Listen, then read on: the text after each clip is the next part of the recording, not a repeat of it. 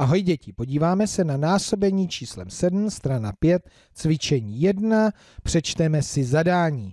Podle zadání vybarvěte kolečka, příklady zapište jako sčítání a násobení, který zápis je pro vás rychlejší a jednodušší. Já si myslím, že už nyní můžeme říct, je rychlejší a jednodušší je násobení, zápis násobení, No ale pokud neumíme rychle vypočítat příklad na násobení, tak nám přijde vhod sčítání. Čili když neumíme to násobení, musíme si pomoct sčítáním. A na to je tohleto cvičení.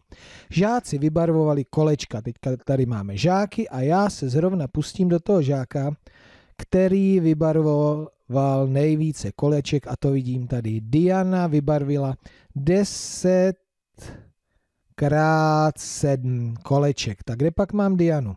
Tady vybarvím jednou, dvakrát, třikrát, čtyřikrát, pětkrát, šestkrát, sedmkrát, osmkrát, devětkrát, desetkrát sedm koleček. Napíši příklad na sčítání, takže po sedmi budu připočítávat. Sedm plus sedm, takže to je po dvakrát, třikrát, čtyřikrát, pětkrát, šestkrát, sedmkrát, osmkrát, devětkrát, desetkrát. Výborně. Tak a teď to sečtu postupně. Jo, napíšu si nejdřív příklad na násobení. Bylo to 10 krát 7. Tak, 7 plus 7, 14, 21, 28, 35, 42, 49, 56, 63, 70. To jsem věděl, ale já jsem chtěl si připomenout jednotlivé násobky. Takže když vy uděláte celé tohleto cvičení, tak se seznámíte s jednotlivými příklady na násobení sedmi, které máte tady schrnuté násobení číslem 7 a znovu vám připomenu násobky čísla 7. 0, 7, 14, 21, 28, 35, 42, 49, 56, 63, 70. Důležitá řada. Když nevíte příklad na násobení, pomůže vám řada násobků postupné sčítání. Tak si to postupně zopakujeme a procvičíme. Tak, 7 Výsledek 7. To jsem začal rychle. Ne, ne, vezmeme to pomalu.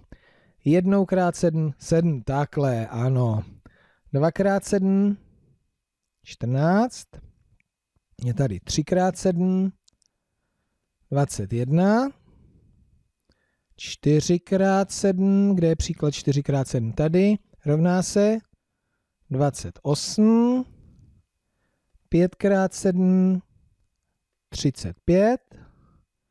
6 x 7 42, 7 x 7 49, 8 x 7 56, 9 x 7 63, 10 x 7 70. Tentokrát jsem to vzal opravdu postupně, po řadě těch příkladů násobení sedmi. Tak, fajn. Pro vás důležitá řada příkladů a především řada násobků sedmi.